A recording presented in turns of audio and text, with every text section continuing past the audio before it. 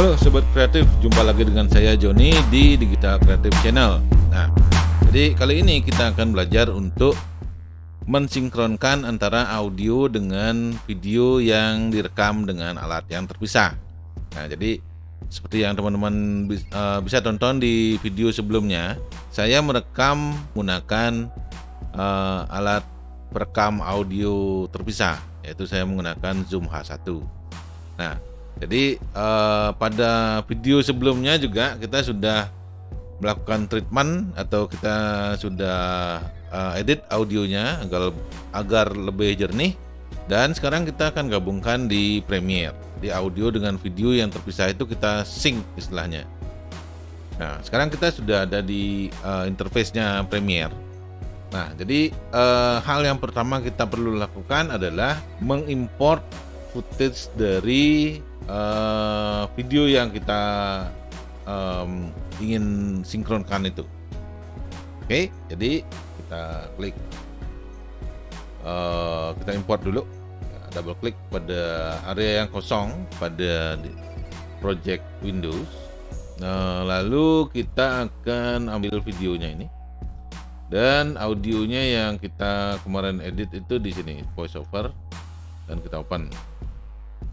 Lalu kita akan buat sebuah sequence baru, klik new item dan kita buat sebuah sequence. Sequence ini settingannya sama dengan videonya ya, sebaiknya disamain. Saya akan pilih Full HD 25 frame per second settingannya itu. Kemudian saya akan uh, namakan green screen kita klik OK kosongan. Uh, lalu footage yang dari um, kamera Sony saya akan drag ke bawah. Oke. Okay. kemudian kita akan ambil juga voiceovernya. Nah jadi durasi dari voiceover ini lebih uh, lebih sedikit karena ini sudah saya potong sebelumnya makan makanan yang bergizi, dan hindari stres yang berlebihan. Nah, caranya biar kalau kita ini uh, pasien dengan manual gitu bisa aja sih, cuman waktunya lama dan kita uh, belum tentu bisa sync benar-benar. Nah, jadi untuk sinkronis uh, audionya ini ada cara yang gampang sekali.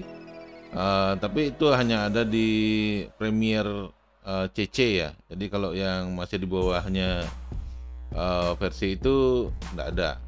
Jadi, kebetulan saya gunakan uh, versi CC 2018. Oke, jadi caranya adalah kita select kedua layer itu, ya, layer video yang ada audionya dengan audionya aja. Nah, setelah dua layernya ke select, klik kanan, kemudian pilih uh, di sini ada synchronize dan kita klik itu. Dan tinggal klik OK. Ya.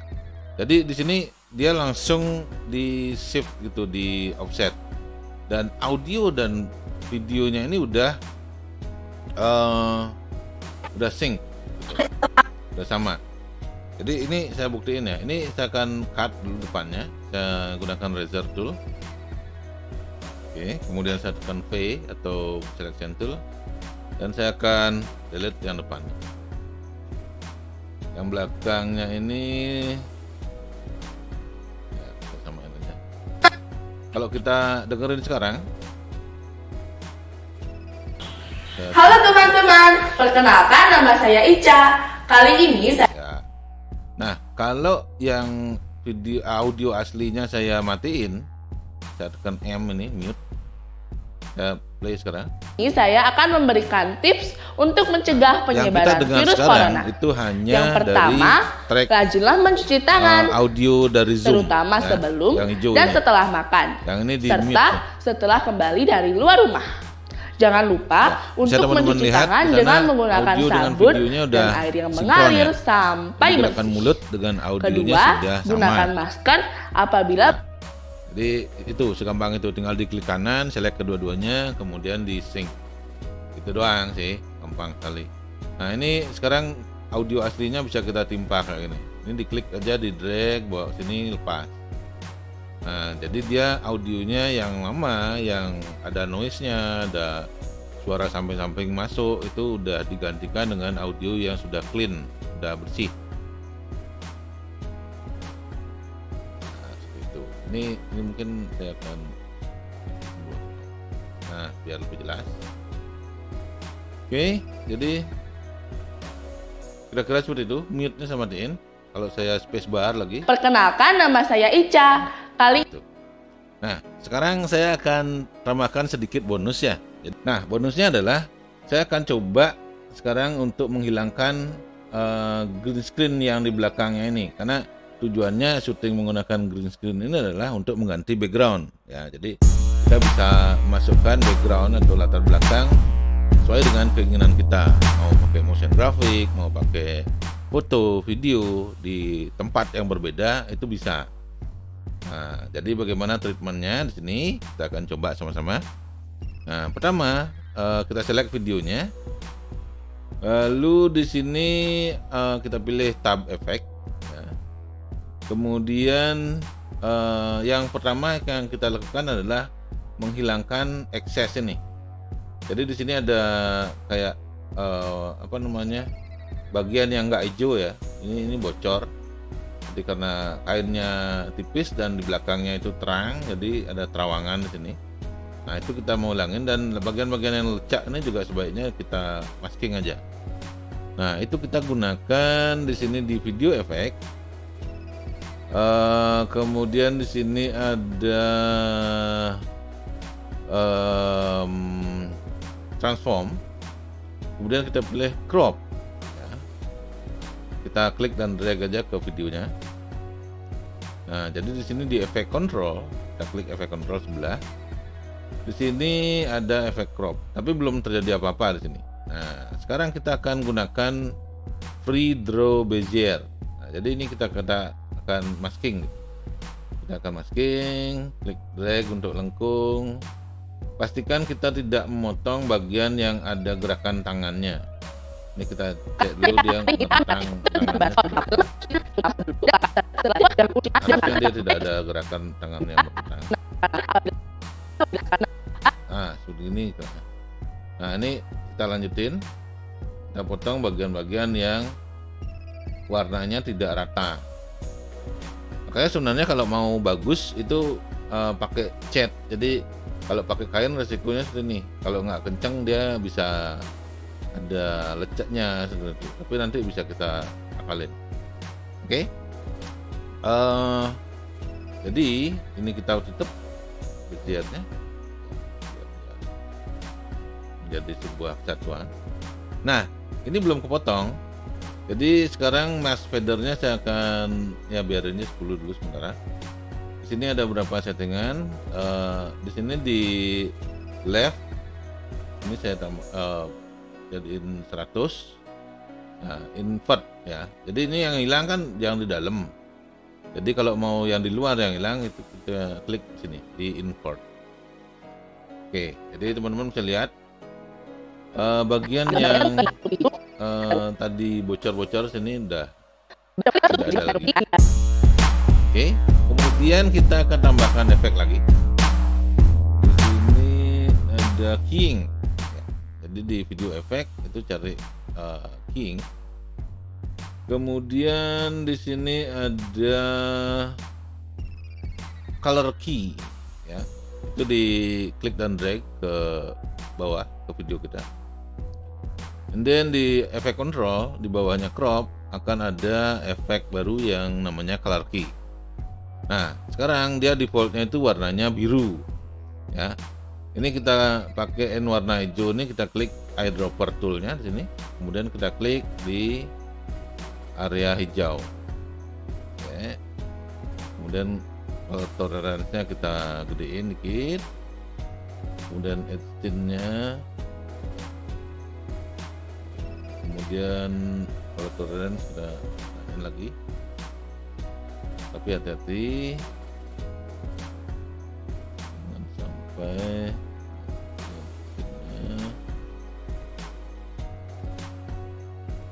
wah ternyata color key ini tidak terlalu bagus ya. Nah jadi uh, mau nak mau kita harus bawa ke After Effects. Karena di After Effects ada uh, efeknya yang lebih bagus namanya um, highlight ya highlight itu bisa menghilangkan uh, background hijau dengan lebih sensitif lagi. Kalau ini kan kalau kita gedein dan malah orang hilang. Nah kita nggak mau seperti itu. Jadi dia benar-benar harus uh, rapi banget hijaunya gitu. Kalau highlight lebih bagus ya jadi ini color key nya saya delete dulu bentar ya. And then uh, ini akan saya bawa ke After Effects. Caranya gampang sekali. Ini tinggal kita klik kanan sini.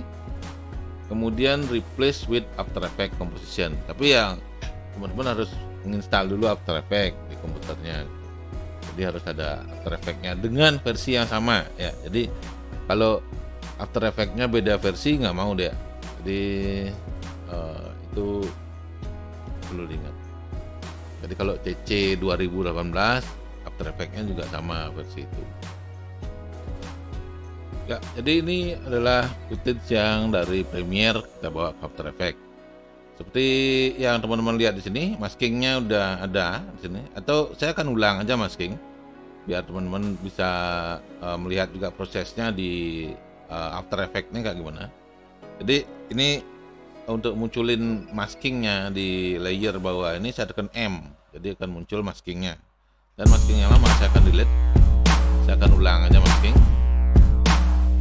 Ya sama uh, dengan uh, Premiere. Di sini ada pen tool juga kita pakai. Kita klik klik drag agar lengkung klik drag agar lengkung klik drag. Pastikan tidak kena area yang ada orangnya. Dan kita tutup terakhir sama aja sih sebenarnya. Cuman yang tadi kan kita mesti main di crop gitu ini udah langsung otomatis. Nah anyway sekarang uh, saya akan menghilangkan background hijaunya. Nah, jadi saya gunakan efek dengan videonya select uh, ini di highlight warna gray kemudian kita klik efek uh, keying. Kemudian pilih key light.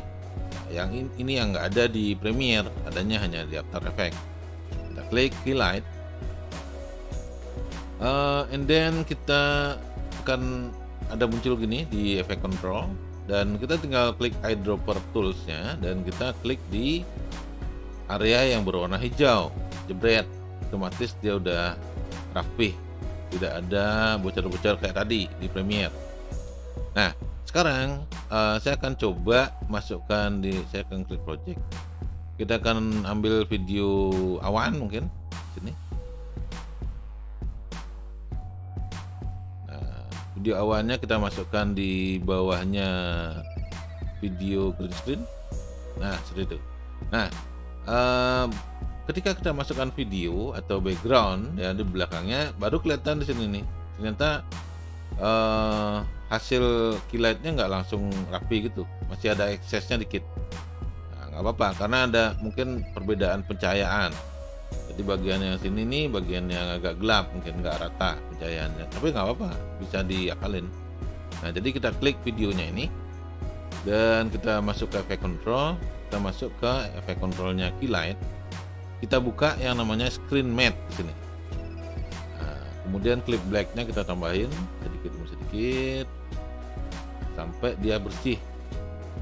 Atau kita zoom ini saya gunakan scroll untuk zoom kita lihat sini. Bagian yang ini saya pengen saya tahan spacebar bagian yang kurang rapi kayak gini bisa kita uh, tambahin screen softnessnya. Jadi pinggirannya akan di blur and then di sini ada yang uh, namanya clip rollback. Nah, itu bisa kita tambahin atau kita kurangin sorry. Kita kurangin agar dia uh, ininya bagian yang lebih-lebih ini diklip dikit. Ya, clip rollback. Uh, kemudian bawahnya ada clip uh, screen string grow. Kita sering sedikit. Kita sering itu klik dan drag ke kiri. Sehingga dia nah bagian sini bisa dilihat bagian yang hitam tadi udah kepotong. Tuh. Oke. Jadi bisa dilihat di sana rapi. Dan ini mungkin kita akan jadi 10 detik aja biar tidak terlalu lama reviewnya.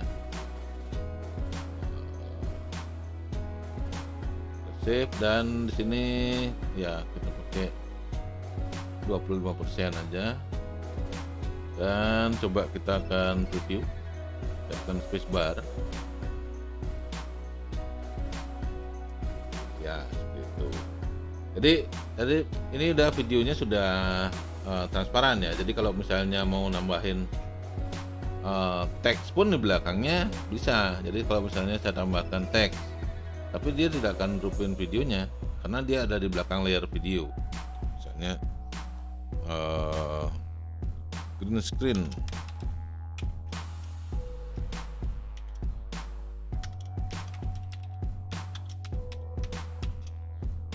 Ya saya akan green nah, bebas. Dan posisi layernya saya taruh di bawahnya layer green screen nah ini kalau saya giniin udah di belakangnya video. Itu jadi bisa ditambahin grafis atau mungkin posisi videonya bisa digeser ke sini bisa. Seperti itu uh, caranya. Nah dan ketika ini kita buka lagi di Premiere dia sudah sync dengan audionya ya. Audionya sudah sinkron dengan video Halo teman-teman, perkenalkan nama saya Ica. Kali ini saya nah, ini merah ini karena dia kita ngambilnya dari After Effects. Jadi kalau mau uh, putus-putus gitu, jadi real time, tekan enter. Nah, kasih dia render sebentar. Nanti ketika dia sudah hijau warnanya, baru kita bisa playback secara real time. Oke, jadi kira-kira tipsnya uh, seperti itu apabila teman-teman mengambil video dengan green screen ya uh, tidak harus dengan alat yang super mahal itu bisa menggunakan kain hijau seperti yang saya lakukan itu juga bisa. Uh, halo teman-teman perkenalkan nama saya nah, udah, udah hijau. Sudah bisa di uh, playback secara normal. Jadi itu.